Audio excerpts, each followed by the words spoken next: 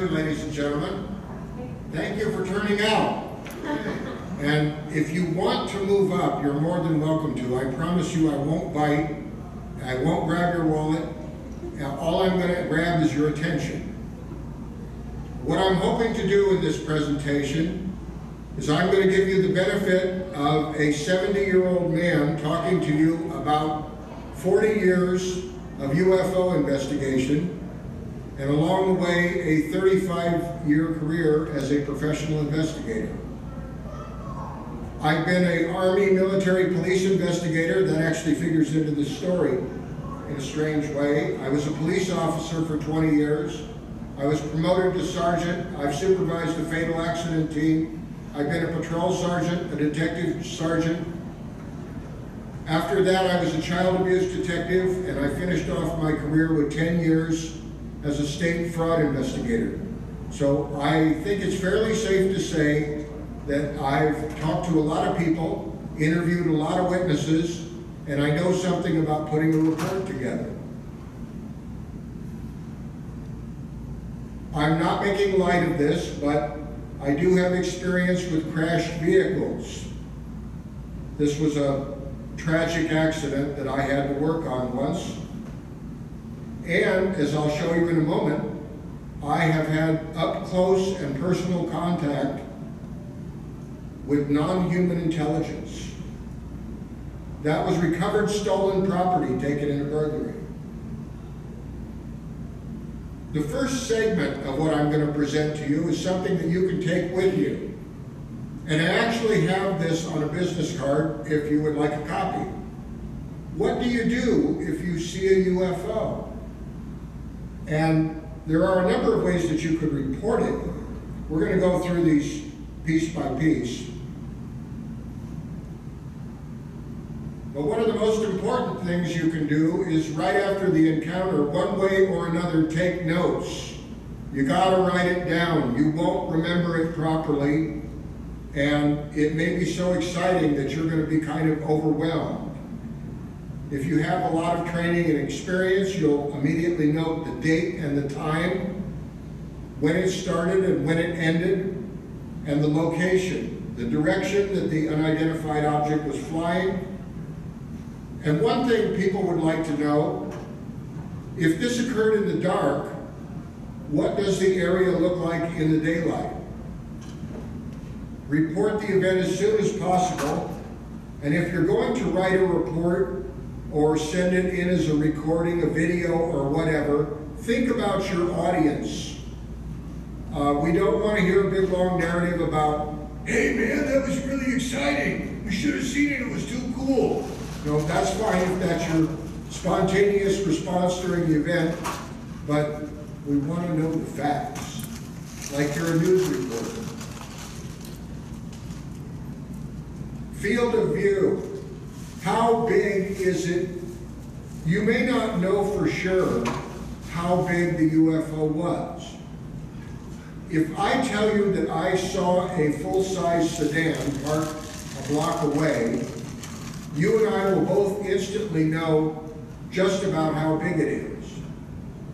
But if I tell you there's a UFO hovering down the block, how do you know how big it is, especially if it's after dark?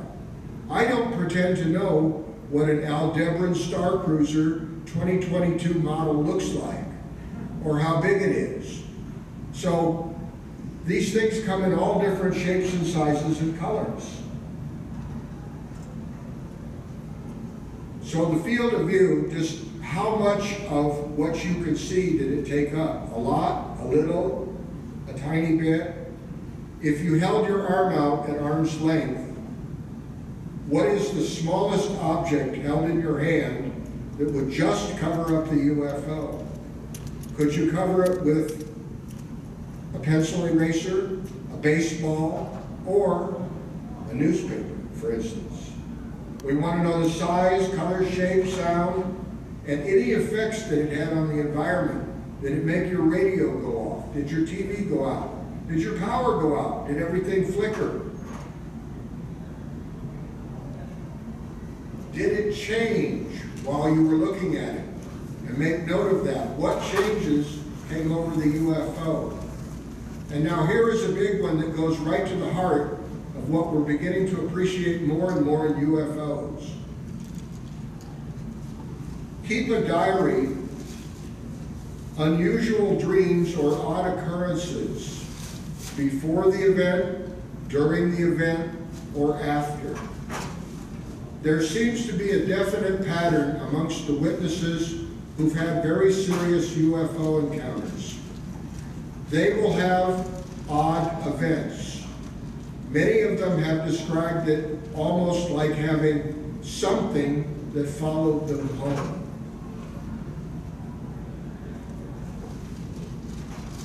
Here's my other point. How do you estimate size and distance? You could make a pretty good estimate of how big that UFO is because you know what a pickup truck is and how big it is. If that wasn't there, it might be very difficult. When you go to the doctor and you have something wrong with you that's not readily explained, the doctor will analyze all of your symptoms and try to figure out what you don't have. How often have I said to you that when you have eliminated the impossible, whatever remains, however improbable, must be the truth? From Sir Arthur Conan Doyle, the character of Sherlock Holmes. That has a lot to do with how we investigate UFOs.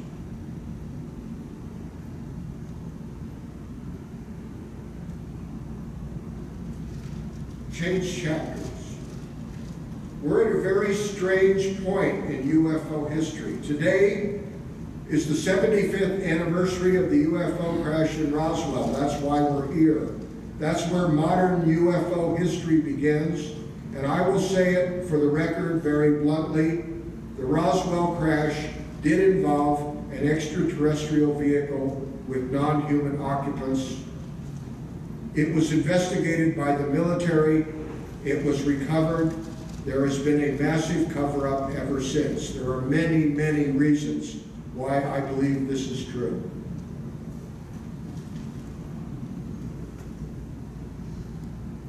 I've actually had to change the tenor of my presentation today. That's how quickly things are happening. I got to meet Lou Elizondo while I was here. I don't know, how many of you, did you go to the museum? Did you get to meet Lou Elizondo? He was way different than I thought he would be. And I'll tell you why here in a minute, why I came into that with a little bit of trepidation. But here we have the three key people.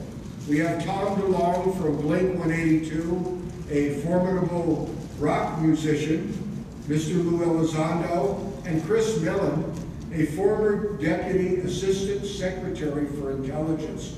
You think about that for a minute. What kind of a position is that for two presidents? This is a very intelligent man with a lot on the ball.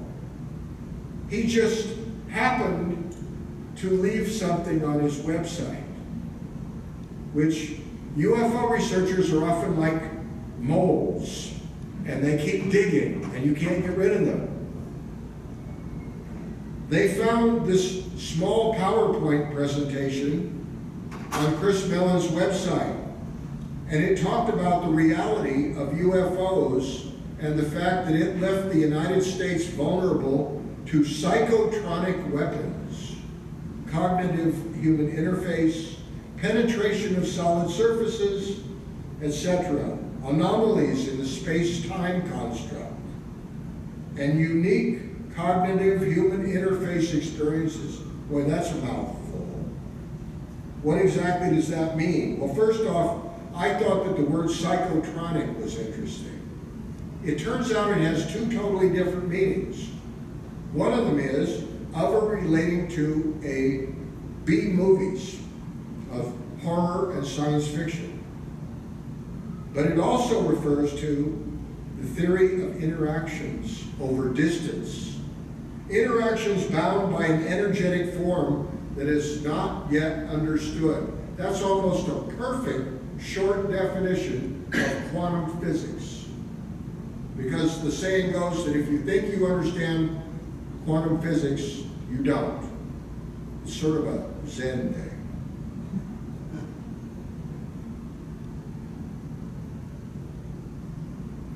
Then we find out that the Department of Defense has been involved in similar experiments in the past. The Department of Defense has relationships with renowned subject matter experts. Somewhere in there, there must be a ufologist. The Department of Defense controls several facilities where activities have been detected, like the Skinwalker Ranch that's owned by Robert Bigelow, just as an example. Here's a question I want you to ask yourself. And this is probably the big question on trying to understand what's going on. If you work 20 or 30 years in the intelligence world, do you think that you would be able to tell the public anything related to national security without authorization? What kind of a non-disclosure agreement do you sign after you've worked for the CIA for 30 years? My guess is that down in the fine print, it says that if you say the wrong thing and they have to take you out, they agree to do it in such a way that they don't have to have a closed coffin funeral. But that's just my theory. In other words, these people have a duty, and I don't want you to misunderstand me. They do work that's vital to the survival of the United States, and I'm as much of a patriot as anybody else. I happen to be crossways with a lot of them because UFOs are my true passion, as you may have figured out already. And there he is, man. He formed the To the Stars Academy. And to my understanding, he basically barged his way in and got interviews with people in high, high places. And we, we have a tendency to think we say the government or the military as if it's a monolith. Surprise, you know who staffs those places? People. And here's what I saw in 30 years of law enforcement and state fraud investigations. You can divide any organization into three groups. There's 5%, 90%, and 5%. There's 5% that are stellar. They're on their way up. They are high achievers and they work very, very hard. 90% of the people in the organization are trying to do a good job and they're also worried about their homes and families and getting on with life. And in every organization, no matter how prestigious, there are 5% of the people who work there that nobody can figure out how they got their job, let alone how they managed to stay employed. I've seen that over and over again. I doubt these intelligence agencies are any different. And then there's the media. And the media is a huge factor in trying to understand UFOs. That's a picture of the famous Tic Tac UFO, the 2004 UFO sighting off the coast of California by San Diego. We've all heard about it over and over again. Repeat after me. There were no important UFO events before 2004. I don't think so. God's sakes, I'm in Roswell. I got to meet David Fravor because he was at the McMinnville, Oregon UFO Festival, which Joanne and I are a regular annual fixture there, and we adore it. If you're going to go to one other UFO conference, come to McMinnville. You'll have an awesome time. And David Fravor is everything you would expect out of an extremely experienced, dedicated combat fire, fighter pilot. You know what the bottom line thought he had when he saw the Tic Tac? He said, I want to fly one of those because it flies in ways that he has never seen before, and no aircraft that they've ever turned him loose with performs like it did. But that was what he told me. He said, I want to fly that. I'm a little cynical at times. And this is what I worry is going on. This is my worst fear. Who controls the past controls the future. Who controls the present controls the past. That's from 1984 by George Orwell. In other words, if here and now I can change the whole UFO narrative, and I don't like Madison Avenue rebranding. I'm sorry, I will say UFO throughout this presentation. You will not hear me use UAP except maybe a couple of times. I'm old school, I admit it.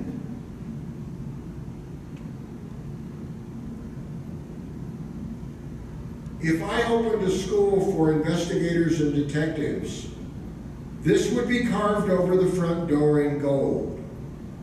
Nothing is ever what it appears to be. That's why you investigate, because there's something more than what you see on the surface. You have to dig in and listen and evaluate. Has anybody here ever fenced the, the sport fencing? I did briefly in high school. Well, do you know what a feint is? That's where you come at your opponent with your sword, and then as you go in, you go out, and then at the last possible moment, you go back in for the kill. That is a feint.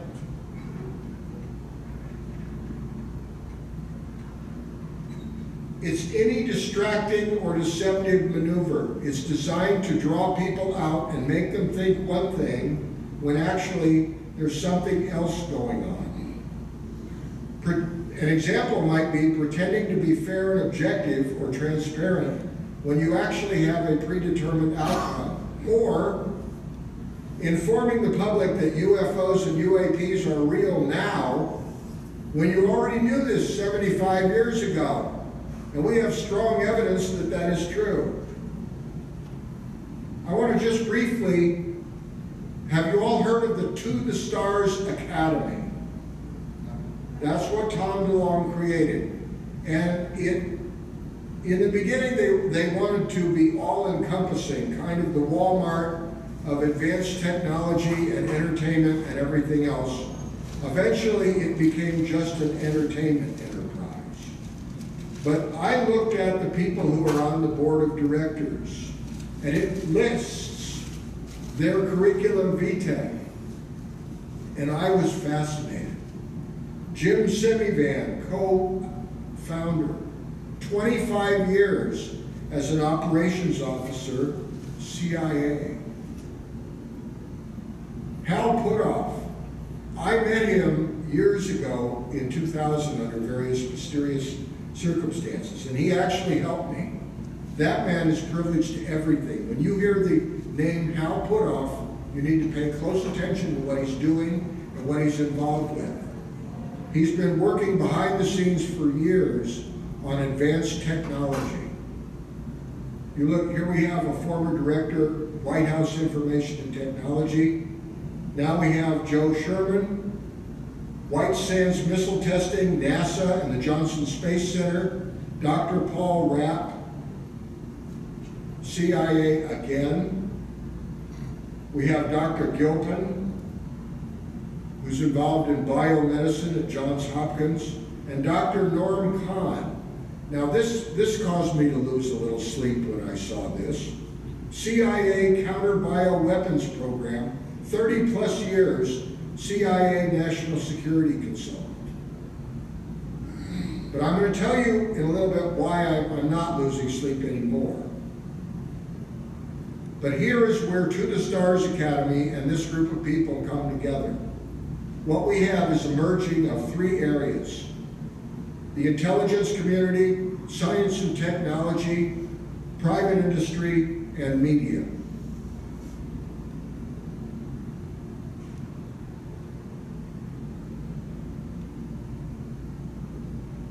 I covered that question already. There's kind of a chilly quotation from a former director of the CIA. And this is one of the disturbing things. It's a fact. Ever since World, World War II, the intelligence agencies have embedded themselves in major media productions. You could say that's good, you could say it's bad, you could say they had to do it. Sometimes they almost take us off a cliff. Like one of the examples that I read about recently was that right after the two bombs were dropped on Hiroshima and Nagasaki, the government announced that there was no such thing as radiation sickness after pictures of some of the people who were horrifically burned in those two cities were published. There is no such thing as radiation sickness. It's an interesting stance, and that's kind of a creepy quote. So, what are we talking about? We're talking about coincidences. Now, you're going to think I'm one of these paranoid conspiracy theorists. I'm not. But I do believe in looking for all the connections.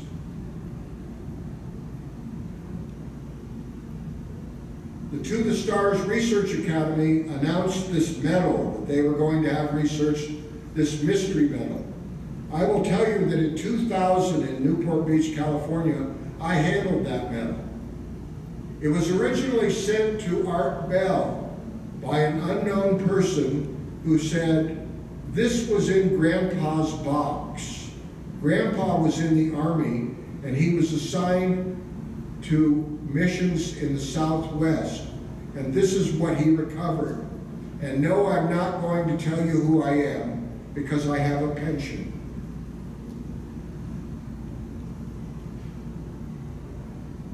Art Bell. Everybody remember good old Art Bell? I hope we got some ex-Art Bell fans in here. No? Yes? Okay. Well, Art Bell one night was doing a broadcast, and this was a couple of years after a friend of mine, June Crane, had passed away. This was at the beginning of 2000. I was sitting in a patrol car, listening to the AM radio. There was a UFO program on Art Bell, and it was put on by Robert Wood and Ryan Wood, and they were talking about the majestic documents. And it was a great program, and I was really riveted. And they had an 800 number. And I wrote it down, and the next morning when I was off duty, I called it. And I said, oh, by the way, I'm a sergeant in the police department, and I have some testimony from a woman who worked at Wright-Patterson Air Force Base in Dayton, Ohio, between 42 and 52, and she had a lot to say about UFOs. That was June Crane. We'll hear a little more about her later. Suddenly, I get a phone call, and I was called to a conference in Southern California, and all of the people who were there were experts in the UFO field. Stanton Friedman couldn't be there, Jim Marrs was there, Linda Moulton Howe, and Dr. Hal Puthoff. And one of the things he did was he offered to help my research, which he did. He sent me some very interesting publications. That metal is alternating layers of bismuth and magnesium. I held it in my hand because Linda Moulton Howe showed it to everybody in the room. And this was a big piece that fit the palm of my hand about. And I knew that it was something that had been manufactured. The problem with this metal is everybody agrees that it was manufactured. Nobody has been able to find any record of anybody making anything like this. Bismuth turns out to be a diamagnetic metal. So it can be used as shielding against magnetism. The magnesium is for weight, obviously. We use magnesium to build aircraft. Nobody knows who built it, who built, who created this metal, who manufactured it. How did we get here? Why is there such a level of mistrust of the government by the UFO community? Back in 1952, a top secret panel was held, the Robertson panel, commissioned by the Central Intelligence Agency because there were so many UFO reports. 1952, that by the way, involved mass UFO sightings over Washington DC. You can definitely find many references to this. Fighter planes were scrambled. At one point, there were UFOs in the restricted area over the White House. Nobody could do anything about it. This panel advocated a public relations campaign to make UFOs go away so that anybody who reported a UFO or talked about UFOs would be ridiculed. That's why we still have this residual automatic reaction to the UFO subject. I must be a raving lunatic. Anybody who sees a UFO is drunk, on drugs, has psychiatric problems. Nothing could be further from the truth. The goal was also to monitor civilian UFO groups. Boy, that'll make you paranoid. In 1966, the Air Force hired Dr. Condon and the University of Colorado to do a UFO study. But it wasn't an independent study. The goal of the study was to get the Air Force out of the public UFO investigation business. They wanted to get rid of dealing with all of us taxpayers. So Dr. Condon was the right guy to do the job. It's my inclination right now to recommend that the government get out of this UFO business. My attitude is that there's nothing to it, but I'm not supposed to reach that conclusion for another year. That's not what I would call an objective investigation. You always gotta figure out whether somebody is investigating the unexplained or explaining the uninvestigated. And what was the conclusion of the Condon report? No UFO has ever demonstrated a threat to national security. There's a problem with that. In 1967 and 1975, we have actual UFOs over ICBM sites, and we have blocks of missiles going down. And the actual documents that are in the back of Robert Salas's book, Faded Giant, are all teletypes where the Air Force and the electrical engineers at Boeing in Seattle are having a rather uh, spirited and heated exchange. They're trying to figure out how something that was supposedly built so well that nothing could interfere with it was taken offline.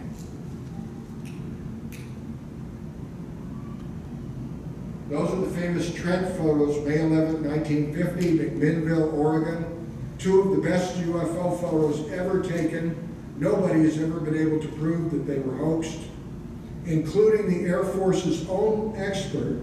And to show you what contempt they had for the public, when they published their final big thick report, they crammed their own report on the Trent photos in the back and in there it says plainly that the UFO, these UFOs are real. A large circular object flying around the sky in broad daylight.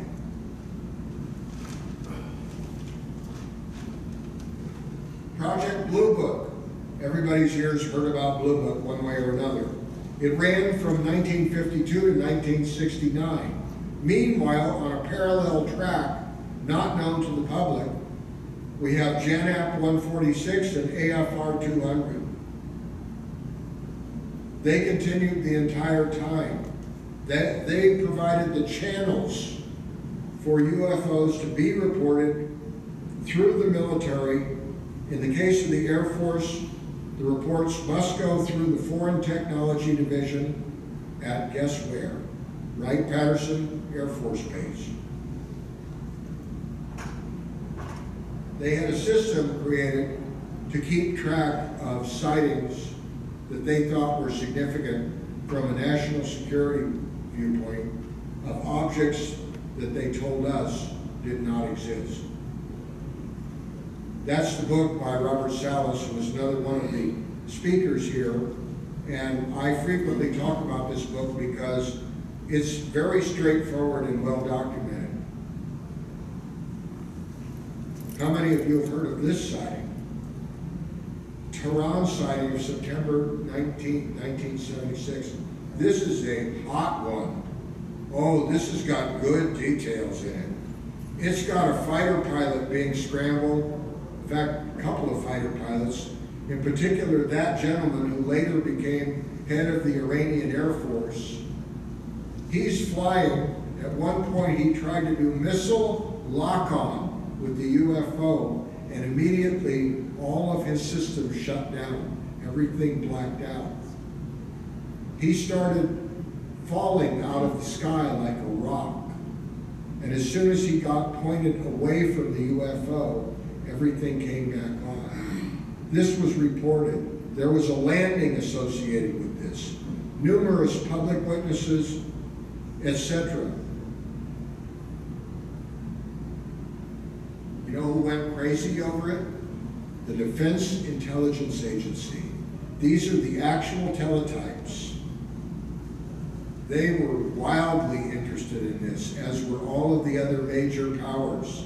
The fact that somebody could fly an aircraft like that, that had incredible performance, that could shut down one of our fighter planes.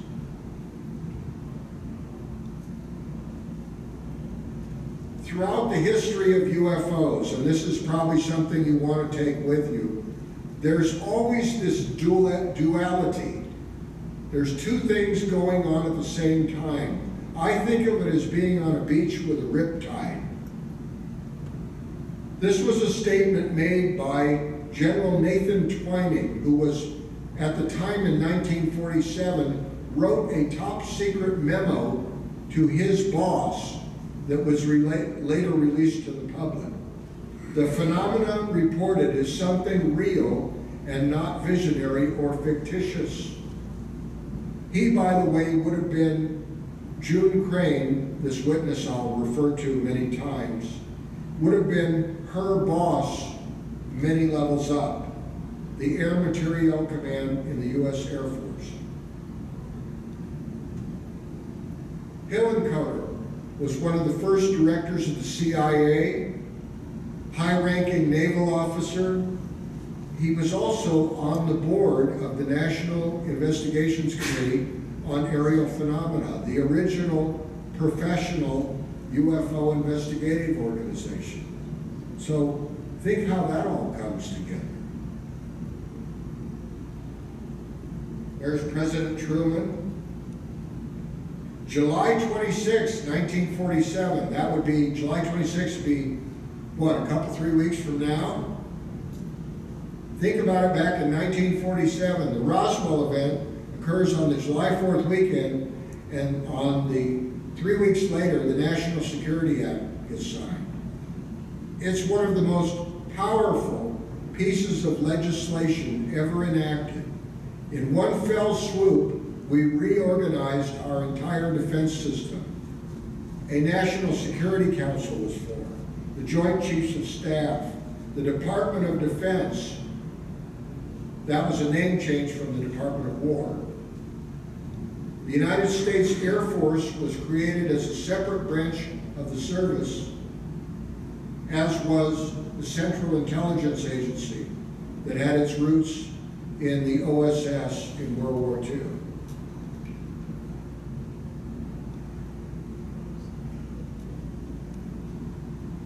if you happen to collect UFO books, this one may be a little more difficult to get, although they, they have it on Kindle. The gentleman who wrote this is passed away. He lives he lived on Bainbridge Island up in my part of the country, the Pacific Northwest. What he wrote was a book called The Missing Times, the news media complicity in the UFO cover-up. This is one of those books, I've got like three or four that are like my main go-to books. It's completely footnoted and it will scare you a bit. And it talks about how we are manipulated with propaganda, disinformation, and ridicule, and anything that's necessary to make the UFO subject go away. That's a quote from his book. The fear, of course, the justification is if we were told the truth, society would fall apart. I don't know, after COVID and everything else that has gone on in the last couple of years, if they told you that aliens were real and that they had landed on the earth before, would that necessarily change a whole lot? I don't know. Maybe not right away. I happen to believe it would in the long run. I've been sitting across from Gort for the last three days from the museum. But I love this movie. It came out the year I was born, 1951. Great sci-fi movie of all time. And we have Klaatu's warning that if we don't clean up our act and we take our violence into outer space, they're going to turn the earth into a burned out cinder. I don't know if that's true or not, but clearly we need to figure out how to treat each other better. Interestingly enough, a name that pops up in the background is Darryl Zanuck. If you look him up on IMDb, that man is a heavy hitter, producer, and director in the history of Hollywood. And it turns out that as far as his patriotic service, we see Army Signal Corps and the National Committee for Free Europe, which was created by the CIA in 1949. A future CIA director, Allen Dulles, was involved, as well as a future president, Dwight David Eisenhower, who of course was commander of all of the forces that went into Europe. So here we have a direct connection between the military, the intelligence agencies, and the movies. That book called Silver Screen Saucers is another one that's really good. Now, this is how I believe the UFO community shoots itself in the foot. I actually saw that this man was starting to appear at some UFO conferences. And I thought, I'm glad it's not at any one that I'm attending because I would probably embarrass myself. This is not someone I like. Project Beta, written by Greg Bishop. This has been documented over and over again, six ways from Sunday. Paul Bennewitz was a defense contractor, a patriotic man who lived outside of Kirtland Air Force Base in Albuquerque. He thought because he was able to monitor mysterious radio transmissions, for some reason he came to the conclusion that these were from aliens and that he had observed some very strange aircraft there. It's highly probable that these were experimental aircraft, but the response of the Air Force was to send Richard Doty in from the Office of Special Investigations of the Air Force. He was an undercover agent, and he was paid to make Mr. Bennewitz's claims go away. His idea of a good time was to break into this man's house repeatedly, along with the NSA, and create things that would convince Mr. Bennewitz that we were under threat of hostile, imminent alien invasion to the point that he had a nervous breakdown and had to be institutionalized. I would say fairly safely that was a misuse of taxpayer money. And quite frankly, the idea that anybody in the UFO community would pay, I don't know how he has the gall to show up at a UFO conference. Let, and who would hire him?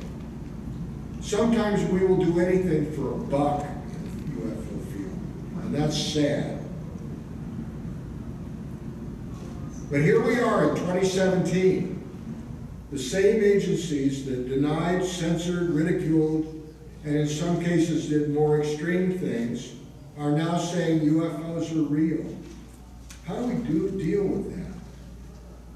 Well, we'll start back where we are. The headline heard round the world. When that headline came out, that a flying disc was captured at the Roswell Army Airfield, it went all over the world. Reporters from everywhere started calling Roswell. This was the biggest story ever. And then, as we know, General Ramey deflated it. This is how I really got into this whole thing. We came down here to the southwest to have a trip together. We wanted to go someplace we'd never been before, we ended up down in the southwest. And because of bad weather high up in the mountains, we couldn't go where we were going to go. And so my wife let me come to Roswell, even though it was not originally planned. I ended up bringing a transcript from this woman I interviewed who worked at Wright-Patterson Air Force Base, and I donated it to the gentleman on the left there in the white shirt. You may recognize him if you know the story. That was Glenn Dennis, who was a young man, worked at the Ballard Funeral Home here in Roswell, and he got the famous phone call wanting to know how many child-sized coffins do you have in stock? He said, well, they only had one. And they said, can you get more? It'll take a couple days. That's too long. They called back later and they said, if you had found a body out in the desert and you wanted to preserve it for transport, how would you do it? He said, dry ice. They said, thank you. Later on that day, he ended up showing up at Walker Army Airfield he was transporting an injured airman, and there was an unusual amount of activity. People and vehicles he hadn't seen before. He made a comment inside about, did something crash? And boy, that brought down the thunder. He got confronted by a belligerent officer who told him he better shut his mouth and not ask any more questions. He said, you can't talk to me that way. I'm a civilian. And they said, Your bones will bleach in the desert as well as anyone else's. Then he met the nurse, who was a friend of his, who had been called into work. She had been involved in an autopsy of a non human being. I'm shortening up a lot of details. She was so upset by being involved in that autopsy that she resigned her commission. And Glenn Dennis promised her something that he took to his grave. He never revealed her true name. Now you'll see controversy around him. When I came here that time and donated that transcript to the UFO Museum, their way of saying thank you was I got to go into a closed room and drink coffee with Glenn Dennis for about a half hour. When I walked out of that room, any doubt that I ever had about the reality of Roswell was forever gone. That man was a gentleman and a straight arrow, and he did the best he could, and he was honest to a fault. He kept his promise. The other man is Walter Haut. Both of them were directors of this UFO museum when I came here. Walter Haut worked for William Blanchard, who was the base commander. Walter Haut was the public information officer who was instructed to release that shocking headline from his boss, a man that he also viewed as a father figure, William Blanchard, who was then a full bowl colonel and the base commander. Now, I want to ask you something, and you think about this. If you work for a major organization and you did a press release that said something really controversial happened, like recovering a flying saucer. And it made news all around the world so that everybody was focused on your organization in that moment. If you lied about that, do you think you would still have a job afterwards? Oddly enough, William Blanchard went on to be promoted until the mid 60s when he died at his desk in the Pentagon of a massive heart attack, he was a four-star general. He had commanded every major command in the Air Force, and they were looking at him as a candidate to be the Secretary of Defense. I would put to you that his release of that document was completely according to a predetermined strategy, as was the General Ramey takedown a couple days later when they made Jesse Marcel into a fall guy and forced him to have his photo taken with a bunch of pieces of deflated weather balloon.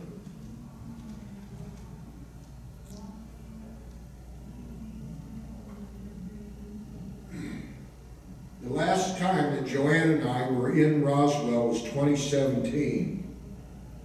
And they had a nighttime parade that year. I guess they've quit doing night parades now. But I sat next to that lady on the left, Frankie Rowe, on a float. And she told me her life story that night. And the next morning, Joanne got to spend some time with her talking about anything and everything. And Joanne is a palm reader, so that's actually a picture of, of her reading Frankie's poem, Palm. She was a lovely lady. She was an honored and revered guest of the UFO Museum. And this may have been one of the last photos taken of her because she passed away three weeks later. Why is that important? Because when she was 12 years old living in Roswell, her father was Frank Dwyer, who was on the Roswell Fire Department. And she found out later, after the beginning of the story, that he had responded to the crash of an old egg-shaped aerial vehicle that had three beings left in it, two dead and one alive. And they were run off by the military. That's what Frankie learned later.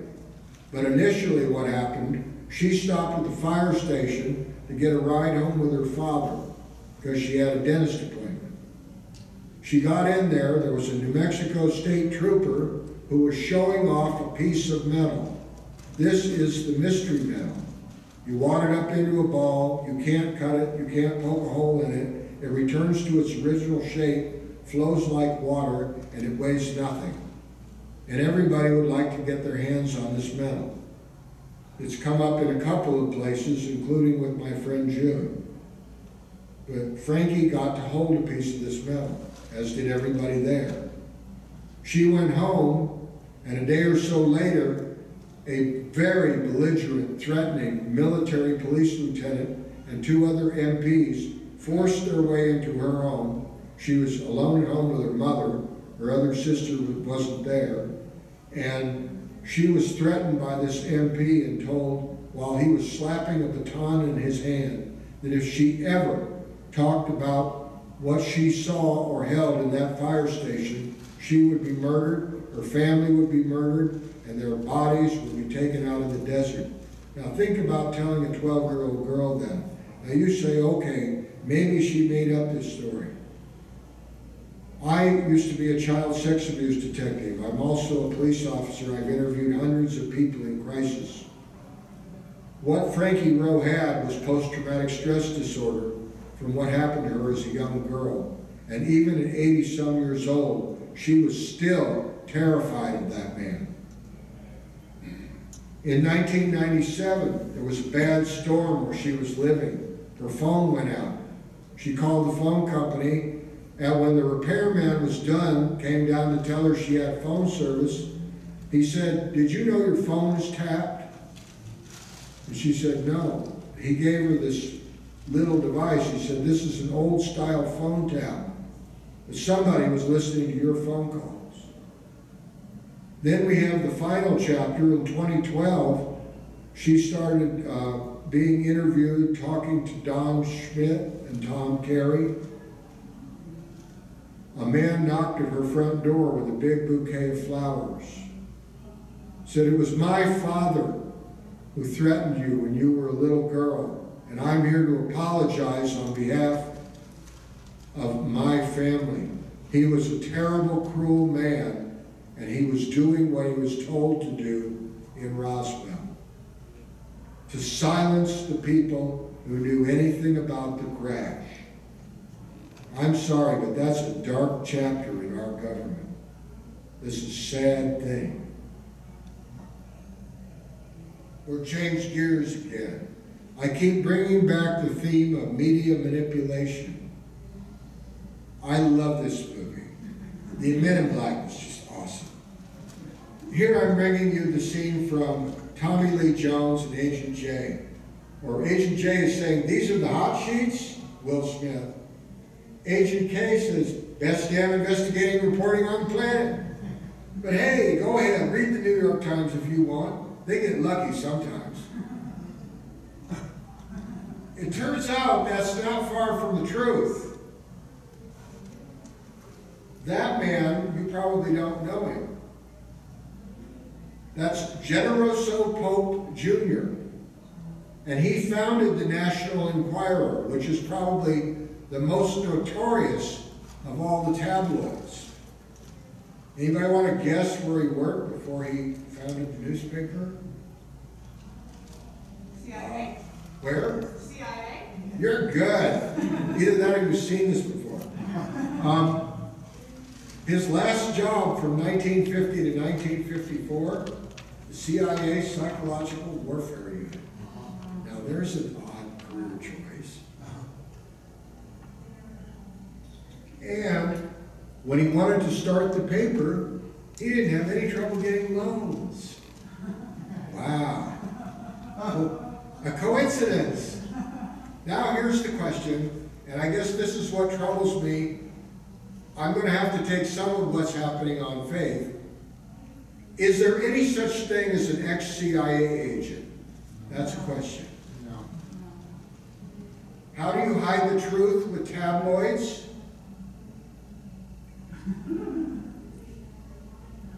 That's how. I could, I could pick any one of dozens. Once you associate the source of a story with something that's nonsense or that people automatically say can't be true, then if you want to make a good story go bad, put the real story in there. There's some pretty good evidence that that's true. That's the Travis Walton story, and there's one hell of a lot of evidence that that's true. I happen to, we've known Travis for quite a few years now, and that's a real story. Not what's in the movie. Don't confuse the movie with the Travis Walton story. That whole section in the middle of the movie where he's taken on a spaceship, that's pure Hollywood, pure fiction. That is not what happened. UFOs spotted at nuclear bases or missile sites. Now you take the entire subject of UFOs associated with nukes and you just destroyed it because you put it in a tabloid. So it, what's, what are we supposed to conclude? It can't be true.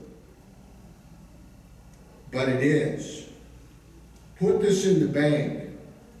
UFOs and anything nuclear, they go together like coffee and cream. UFOs and Nukes, the important book by Robert Hastings, was another unsung hero in the field of ufology, a brilliant book. He spent years interviewing former contractors and military people who would talk about UFOs that were in the proximity of classified nuclear sites.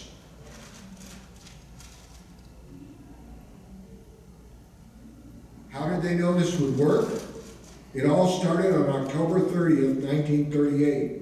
Orson Welles did the famous broadcast, and some people actually took it seriously to the point that it started a minor panic.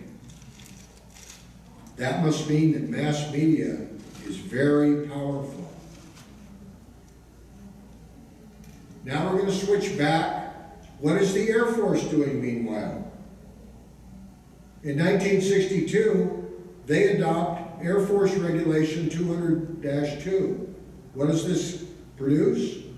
A complete internal system for reporting UFO sightings to the Foreign Technology Division at Wright-Patterson Air Force Base in Dayton, Ohio. That's a self-bomber, by the way. I actually saw that on, that's at the Air Force Museum. If you ever get a chance to go to the Air Force Flight Museum in Dayton, Ohio, go. That's the best flight museum I've ever seen in my life, and the beauty of it is the admission is free. Your tax dollars paid for it. But boy, is it worth it. It's beautiful. What is the Air Force mission? They protect the skies over the United States. And their goal is to detect, identify, intercept, and destroy if necessary. That's their mission. Here they actually define new foreign air vehicles of unconventional design. That obviously is UFOs.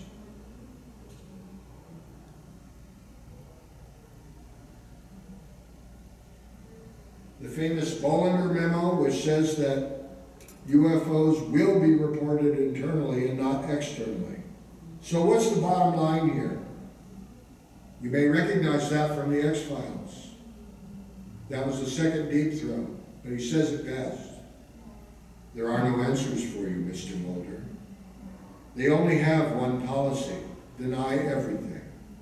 And that's pretty much been the truth to this date.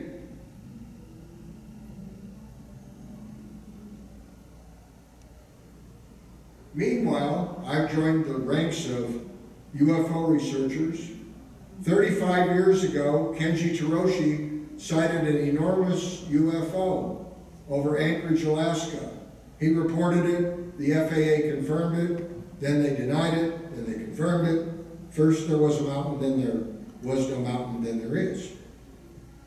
He basically lost his job. He was taken off flight status for many years. That's his diagram that he drew. You can see the little airplane down on the right, that's his airplane. Yeah. Now that leads into the National UFO Reporting Center, 206-722-3000. I originally heard about that because that business card was underneath the plexiglass by the military police desk sergeant at Fort Lewis, Washington, where I was a plainclothes investigator. And I asked the desk sergeant, I said, what's that? And he said, that's where we report UFOs. I thought, wow, okay. I remembered that. And after I got out of the Army, Right after that sighting went all over the news from Kenji Terauchi in 87, I called that number and I spoke to that man, Bob Gribble.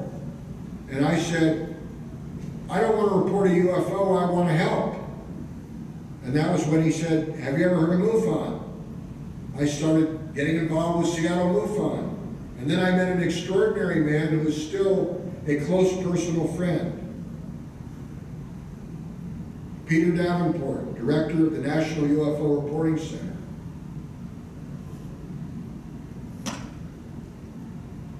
I'm trying to scoot this along a little bit because I'm obviously going to run out of time if I'm not careful. There's so much in this field. And yet,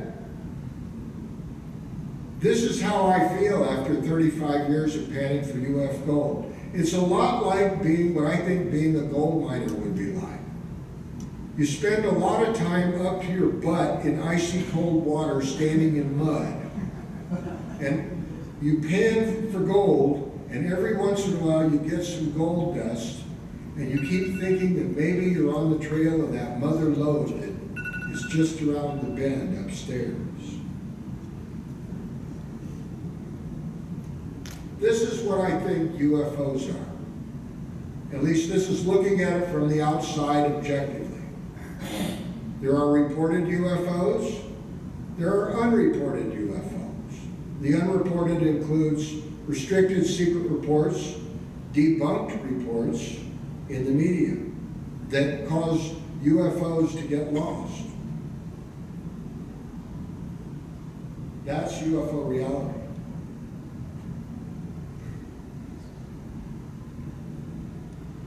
This is just news stories.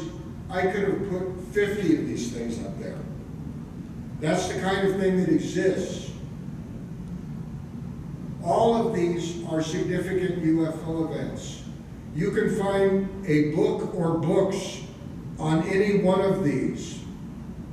They have had numerous interviews and studies done about all of them.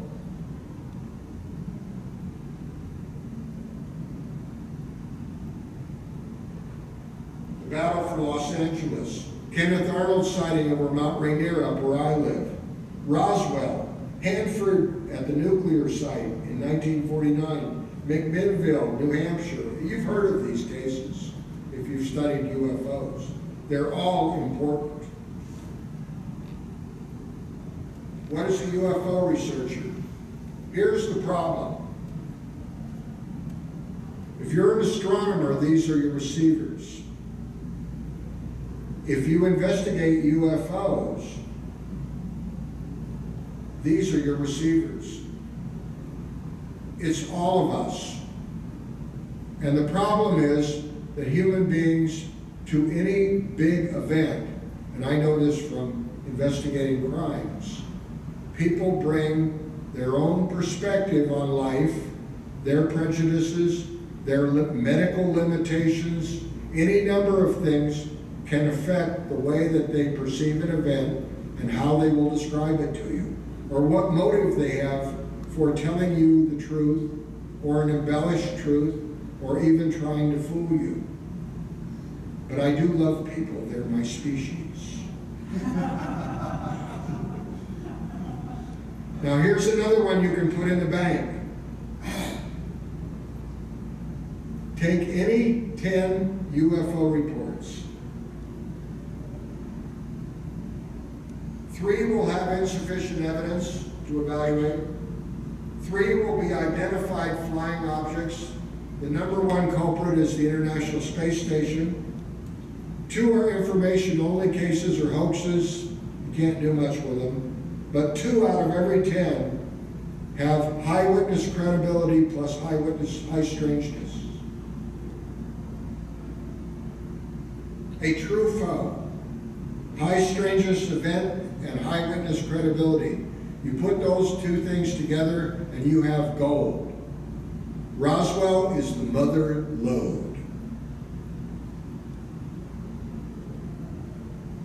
I took two years' worth of reports to the National UFO Reporting Center. Two out of every 10 are UFOs. That means you have about 2,127 true foes a year, or 1,063 cases a year. That means you've got about, on the average, rough average, three true foes reported daily. That's a lot when you start talking about years. I took 700 cases that I investigated personally for the Mutual UFO Network and broke them into categories on how I closed them. And guess what? 22% of them are unknown aerial vehicles slash UFO slash UAP.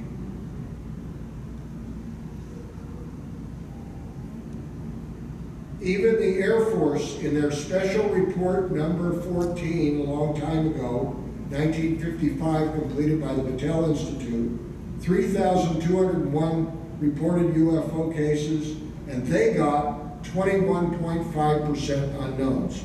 That's why I really do stand on that two out of every 10. It works really well. Now, another thing we look for.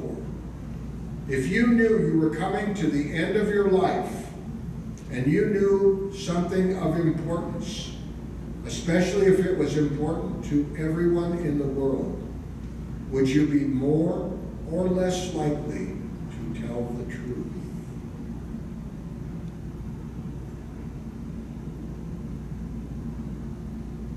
Here we have a quotation from DuBose, who is in that picture sitting in the background while Roger Ramey is holding up the weather balloon fragments.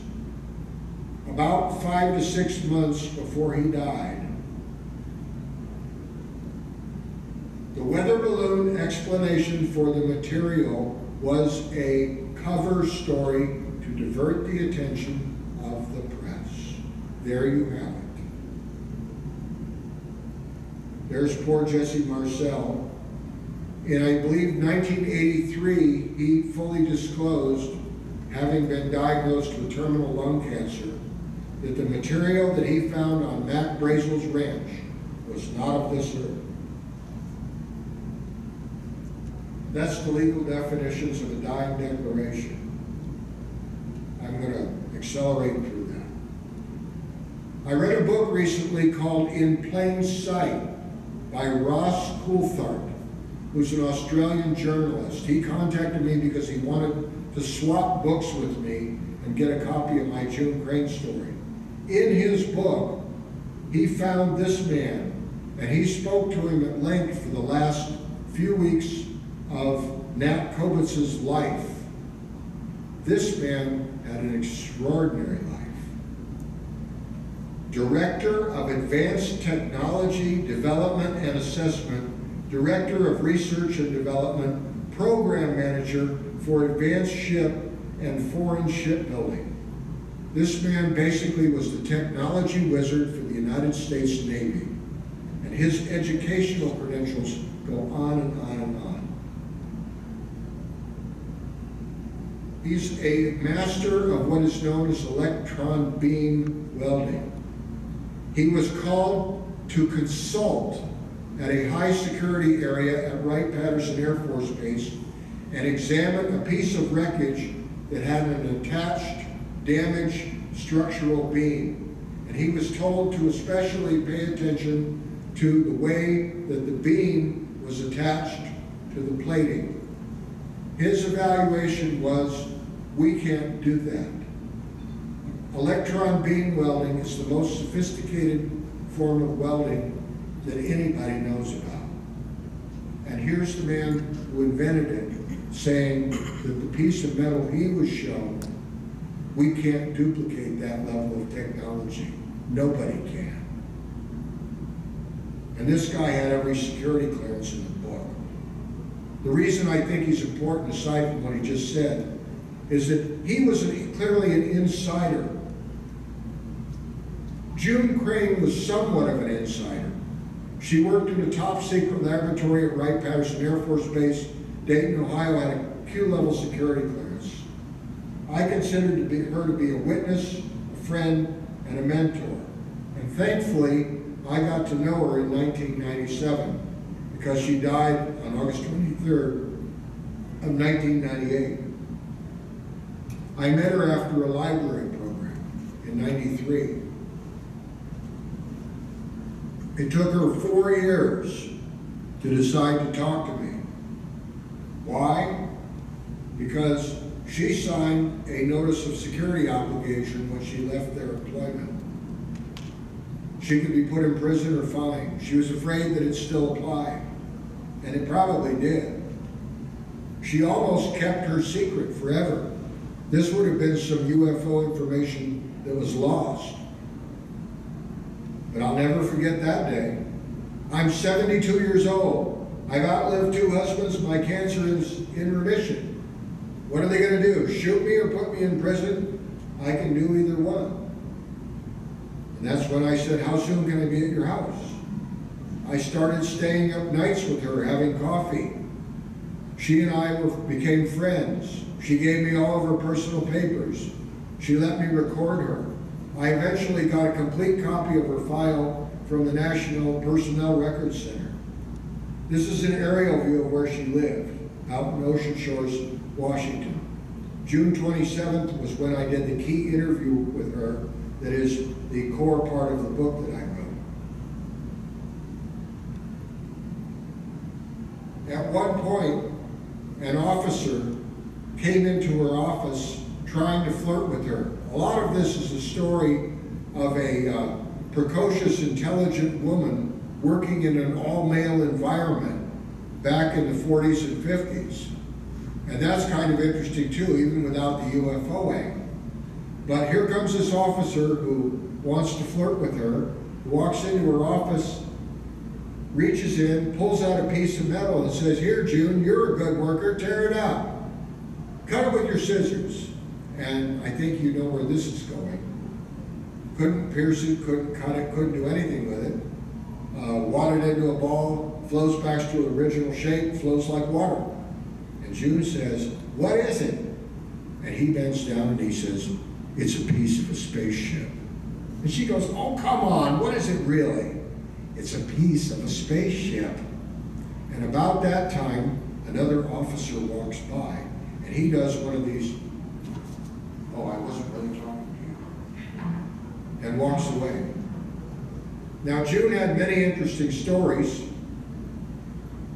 And even if she hadn't mentioned UFOs, I would have loved her story just to hear about somebody who worked in a place like that.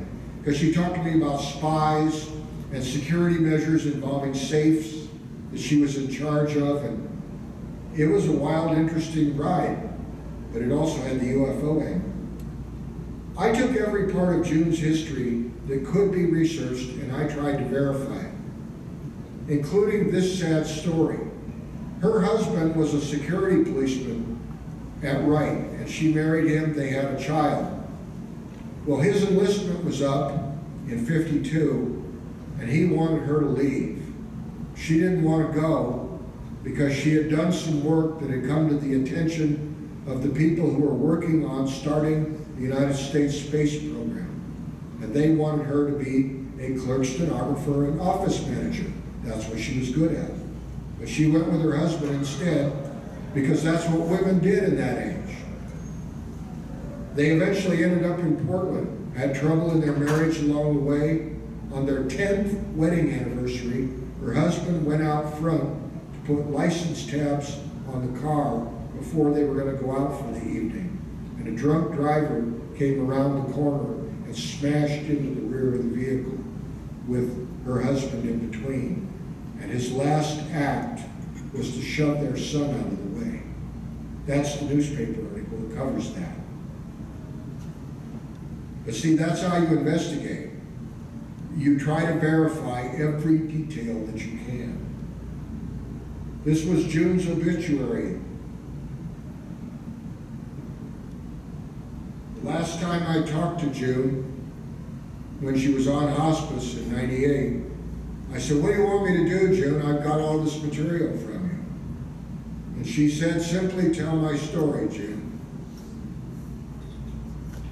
I've done it over and over again. If you're interested, that's my book. Please stop by and I'll be glad to provide one.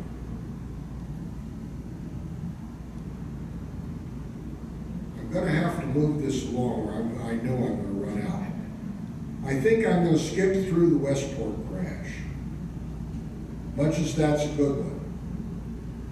I talked to a bunch, I'll go quickly. I talked to other cops I worked with. I started with the Aberdeen, Washington Police Department in May of 1979. And in November of that year, I was still what you would call a rookie, and I didn't see much daylight, and I didn't take the newspaper.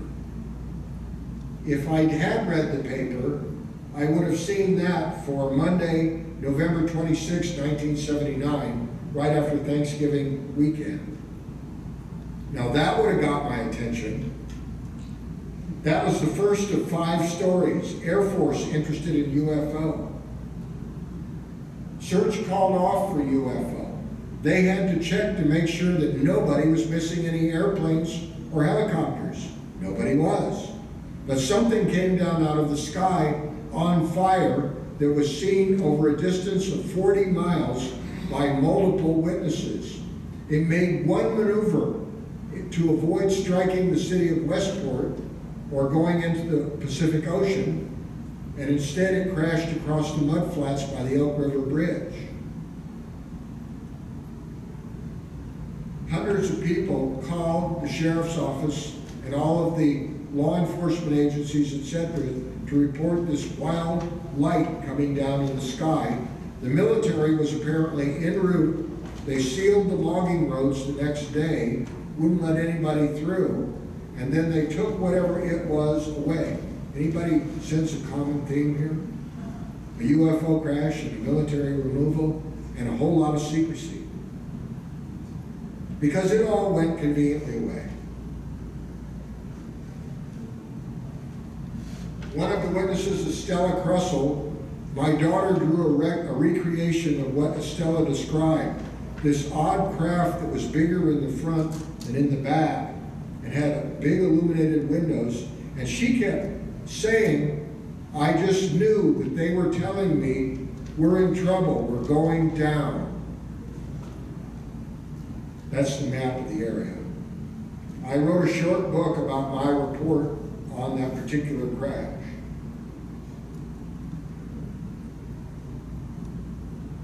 The Mount Rainier case, June 24th, 1947. By no means the first UFO case, there were many at that time. Interestingly enough, Portland, Oregon had numerous UFO sightings at the same time. The witnesses were on duty Portland police officers. That's what's wild.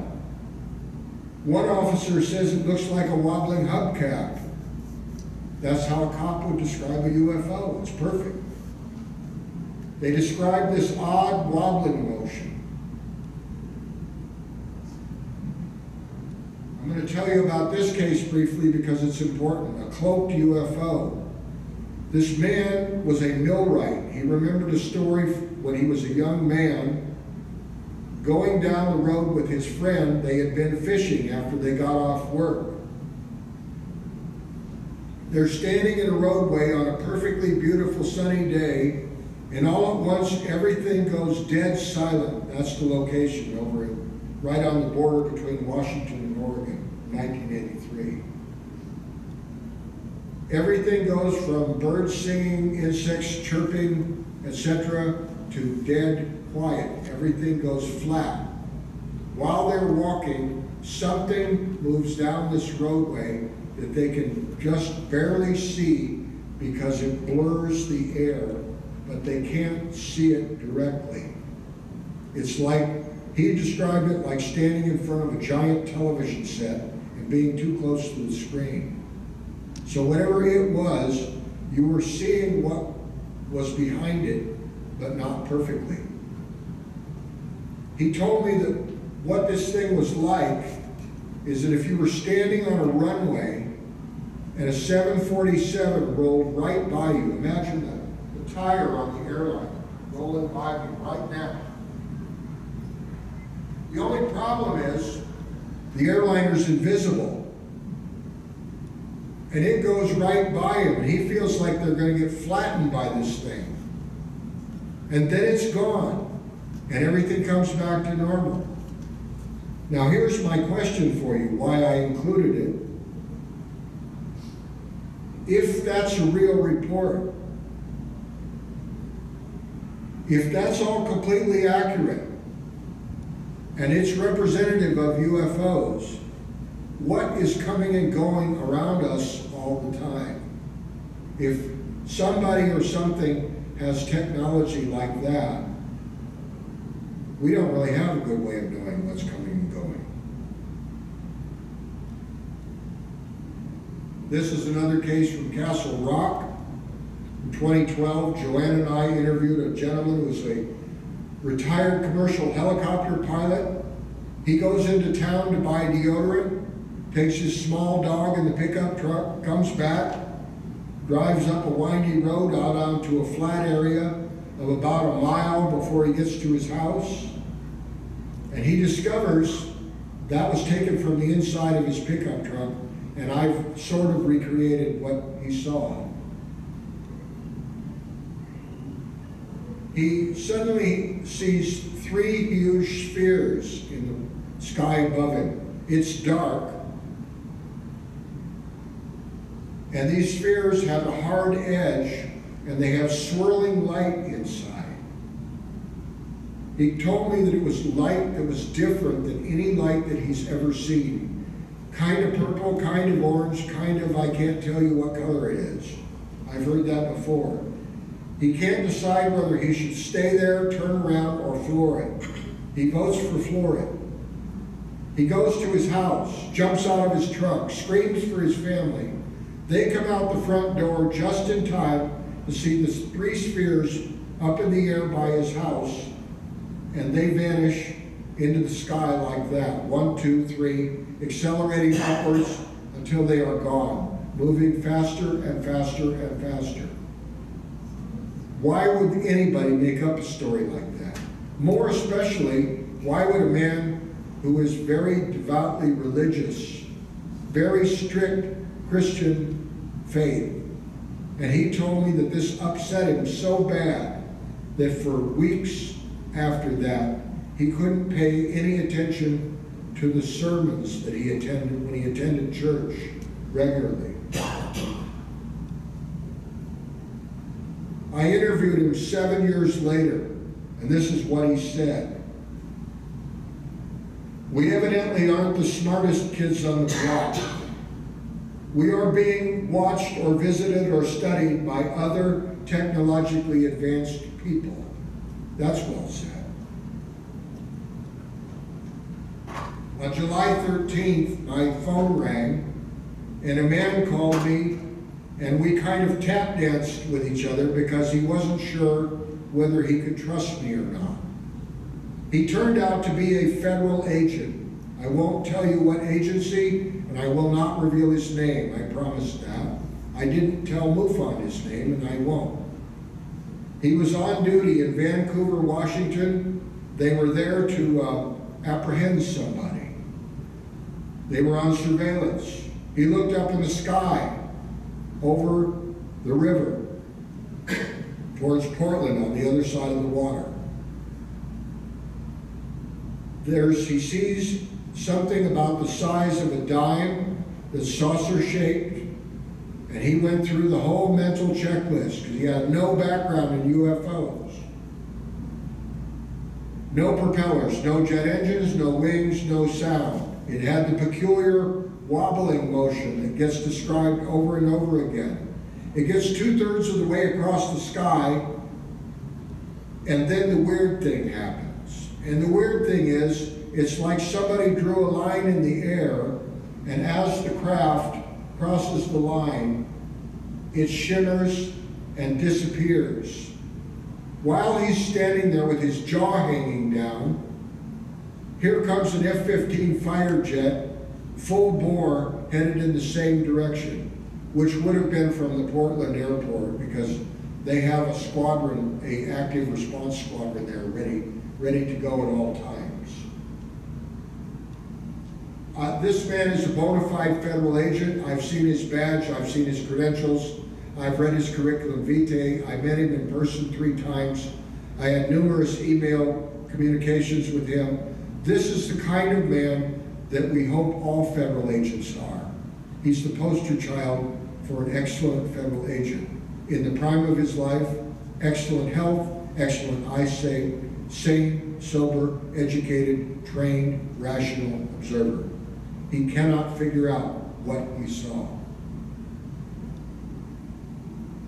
Because this case had been called in three days after it happened, I paid the 200 bucks to get the radar data from the FAA. And then I had a friend of mine who's a retired NOAA weatherman unpack it and put it on a map.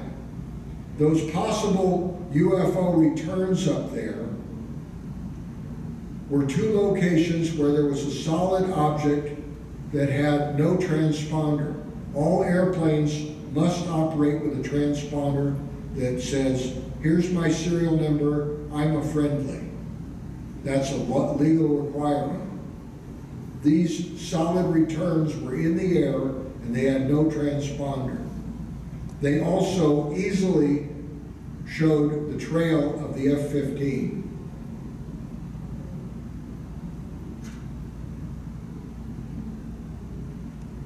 So in short, what I have there, I have a witness who risked his career to make a report to me.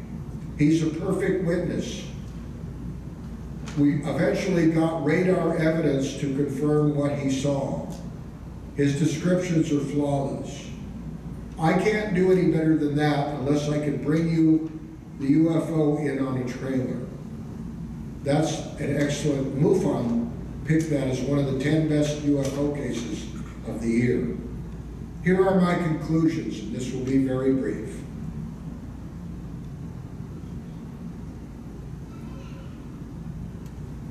This is what that federal agent told me several years later, because I called him up and said, What do you think about what you saw? This is five years ago. And although I would have laughed at what I'm about to say five years ago, it may be the most important topic in human history. The gravity of what it all means has certainly sunk in over the years. And like all of my best, all of my best UFO witnesses have done this. People with no background in UFOs, and when after we're done working out their report, they become like sponges. They want to know, are there other people like me? Uh, where can I get more books? Where can I get more information? How do I know more about this thing that changed my life because it doesn't fit in anywhere? Here's my conclusion. The echoes of our visitors resound throughout human history. I am convinced that if we knew the complete, uncensored story of humanity on earth, nothing would be the same. And I'm hopeful because of that, because I think it would draw mankind together, not tear us apart like we are now. The question, what if we are being changed by UFO reality as individuals to prepare us for contact as a civilization? When people talk about disclosure, I say that it's already happening. This is disclosure. It's all disclosure.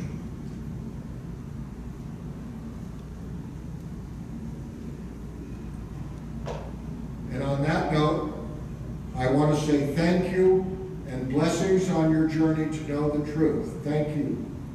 Appreciate.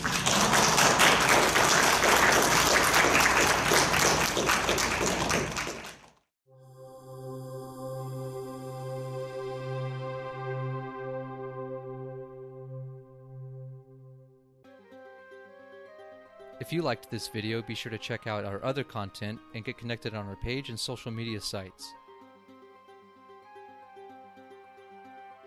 Every day, new discoveries are being made all across the world and beyond, so let's work together to find out what's next.